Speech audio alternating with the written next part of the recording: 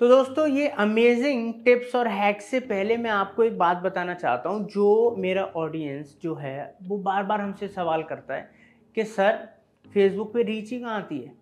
बहुत ज़्यादा दिक्कत है। दोस्तों, ये बात सच है कि सिर्फ़ सोशल मीडिया फेसबुक की बात नहीं है, ज़्यादातर प्लेटफॉर्म्स के ऊपर अगर आप देखोगे तो वहाँ पर रीच थोड़ा कम होता जा रहा है। इतना आसान नहीं है लोगों को, लोगों तक पहुँचना और उनको एंगेज करना। क्यों? क्योंकि हम सब जानते हैं कि आज की डेट में सोशल मीडिया के ऊपर और स्पेशली जो प्लेटफॉर्म बहुत ज़्यादा पॉपुलर हैं, उस पर हर मिनट हर सेकंड हज़ारों, लाखों की तादाद में लोग अपना कंटेंट शेयर कर रहे हैं।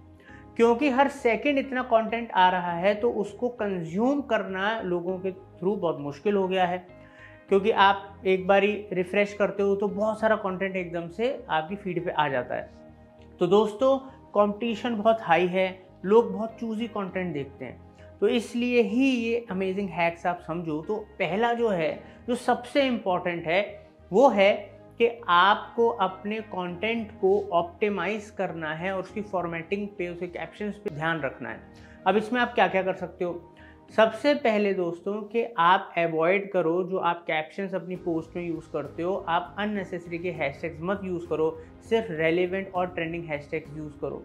साथ के साथ जो आपका कंटेंट है, जो कैप्शन के अंदर, उसको यूनिक रखो, कुछ एंगेजिंग रखो कि सामने वाला, उसको देख के क्लिक करे।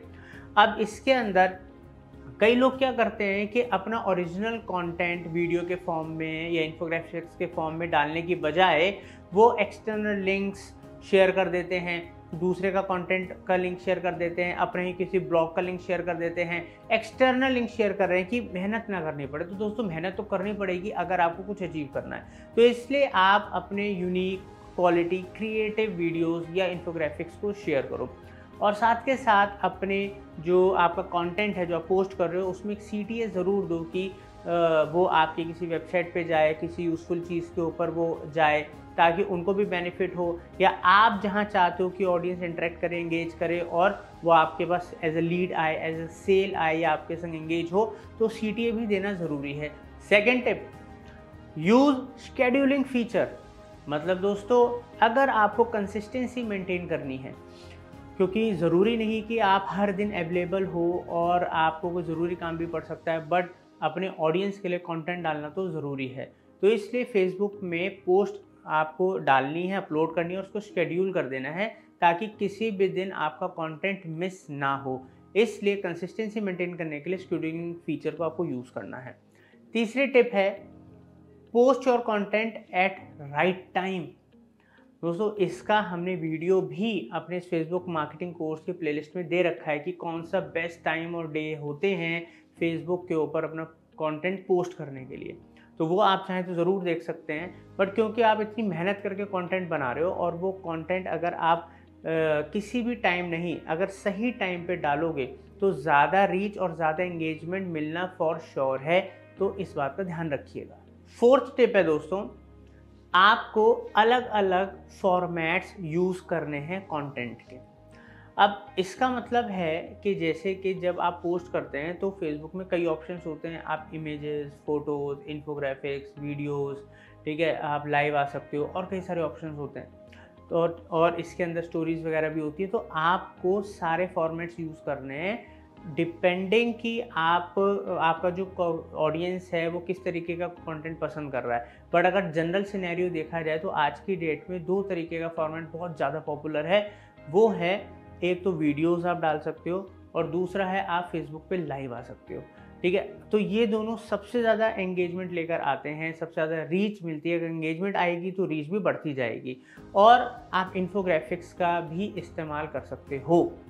फिफ्थ टिप है, आप यूज़ कर सकते हो फेसबुक ग्रुप्स को और थर्ड पार्टी एंगेजमेंट सोर्सेज को, जैसे कि आपके एम्प्लॉयज़ या आपके पार्टनर्स या जो आपका सर्कल होता है। दोस्तों होता क्या है कि जब आप अलग अलग ग्रुप्स के अंदर हो तो वहाँ पर बहुत बड़ी कम्युनिटी है। अगर आप उनके संग इंटरेक्ट करते हो, अपने लिंक शेयर करते हो तो वहाँ से भी आप बहुत सारे नए ऑडियंस को अपने पेज पे लेकर आते हो तो न्यू रीच मिलती है, वहाँ से एंगेजमेंट मिलती है। साथ के साथ जो आपका सर्कल है, चाहे बिज़नेस सर्कल है फैमिली सर्कल है फ्रेंड सर्कल है, आपके एम्प्लॉयज़ हैं, उन सब लोगों का अपना खुद का भी एक नेटवर्क है। तो आप उनकी भी हेल्प सपोर्ट ले सकते हो ताकि आपको उनके थ्रू भी ज़्यादा न्यू ऑडियंस और उनके थ्रू एंगेजमेंट मिले। सिक्स टिप है, और जो बेहद इंपॉर्टेंट है, दोस्तों आज की डेट में ना अगर आपको किसी को अपनी तरफ़ अट्रैक्ट करना है तो आपको उसको कुछ ऑफ़र करना पड़ता है। तो इसलिए सबसे ज़्यादा पॉपुलर है और आजकल कंपनीज़ स्टार्टअप्स हो जो बड़ी कंपनीज़ हो, इसको आजमाती हैं। तो आप contest puzzles games give away freebies इसका इस्तेमाल कर सकते हो। इससे लोग इंटरेस्ट लेते हैं, ज़्यादा इंगेज होते हैं रीच भी बढ़ती है इंगेजमेंट भी बढ़ती है। और दोस्तों, जो सेवेंथ है हमारा, वो है कि आप ट्राई करें कि आपका पेज वेरीफाइड हो जाए या उस पर ब्लू टिक आ जाए। तो लोगों का ट्रस्ट ज़्यादा बनेगा। हम सबको पता है कि जो पेजेस वेरीफाइड होते हैं जिनमें ब्लू टिक होता है उस पर लोग जुड़ना चाहते हैं। उस पर ज़्यादा रीच आती है फेसबुक भी उनको सपोर्ट ज़्यादा करता है तो इसलिए आप उसके लिए भी ट्राई कर सकते हैं। अगर आपका पेज थोड़ा पुराना हो गया है और उस पर एंगेजमेंट और रीच अच्छी है तो। एट्थ टिप है, आप अपने फॉलोअर्स से रिक्वेस्ट कर सकते हैं कि वो आपके लिए नोटिफिकेशन टर्न ऑन कर दें। इससे होता क्या है, जब भी आप कोई कंटेंट पोस्ट करते हो तो उनके पास नोटिफिकेशन जाता है। नोटिफिकेशन से जब उनको पता लगता है कि आपने कोई कंटेंट डाला है तो आपकी जो फ़ैन फॉलोइंग है, जो आपके फॉलोअर्स हैं, वो उस कंटेंट को देखते हैं। और जितना ज़्यादा कंटेंट देखा जाएगा या उस पर एंगेजमेंट आएगी तो ऑटोमेटिकली जो रीच है, वो बढ़ती जाएगी और फर्दर एंगेजमेंट आती जाएगी। तो ये भी एक बहुत अच्छा तरीका है अपने फॉलोअर्स की हेल्प लेके आप अपनी एंगेजमेंट और रीच बढ़ा सकें। नाइन्थ टिप है दोस्तों, कि आप चीज़ों को फुली ऑटोमेट ना करें बिकॉज़ आजकल सोशल मीडिया के ना बहुत सारे बहुत सारे ऑटोमेशन टूल्स आ गए हैं। तो लोग क्या करते हैं कि हर चीज़ कम्प्लीटली फुली ऑटोमेट कर देते हैं, जो कि 100 परसेंट सही नहीं है। कुछ चीज़ों को आप ऑटोमेट कर सकते हो ताकि अपना समय बचा सको, आप के काम एफिशिएंसी है प्रोडक्टिविटी बढ़े।